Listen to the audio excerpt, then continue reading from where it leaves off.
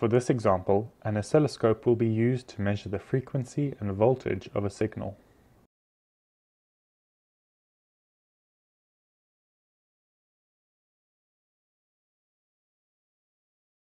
When measuring a single source, attach the lead to the channel 1 terminal and select the channel 1 mode.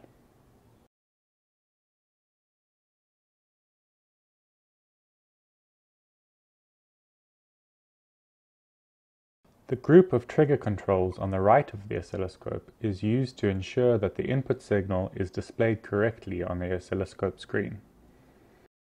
Ensure that the trigger hold-off is set to auto by pressing the button in and make sure that the source channel is set to the same channel that the input source is connected to, in this case channel 1.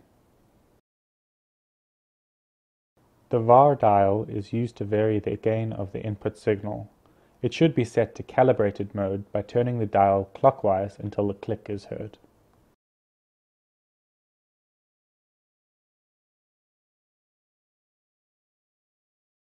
The set of controls on the left of the oscilloscope vary the position and scaling of the vertical or voltage axis of the signal displayed on the oscilloscope screen. The vertical position dial is used to change the position of the signal's display relative to the grid. It does not alter the actual input signal.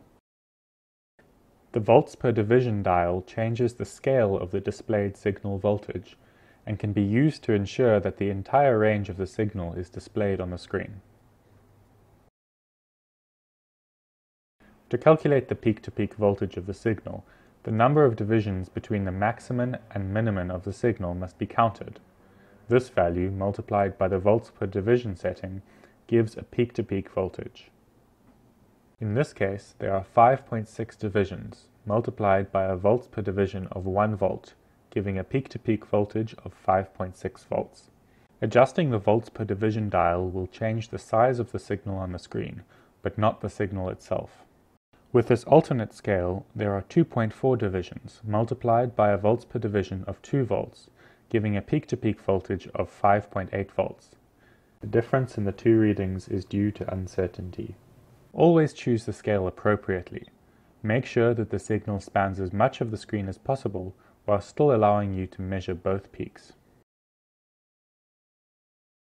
The set of controls in the middle of the oscilloscope vary the position and scaling of the horizontal or time axis of the signal displayed on the oscilloscope screen. The horizontal position dial is used to change the position of the signal's display relative to the grid. The time per division dial changes the timescale of the displayed signal and is used to ensure that an entire cycle of the signal is displayed on the screen.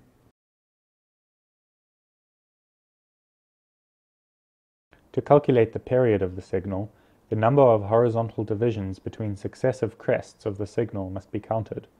This number, multiplied by the time per division setting, gives the period of the signal. In this case, there are 3.4 divisions, multiplied by a time per division of 10 microseconds, giving a period of 34 microseconds. From this, the frequency can be calculated as the inverse of the period.